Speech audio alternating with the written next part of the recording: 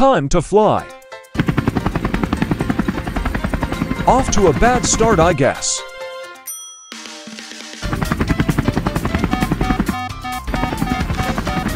This